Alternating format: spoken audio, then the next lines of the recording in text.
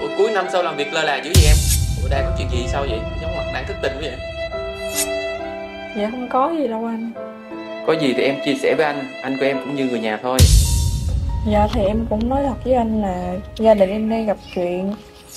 Nên là em cũng tính xin phép anh cho em làm xuyên Tết luôn để đặng phụ cho gia đình. Anh thấy được không anh?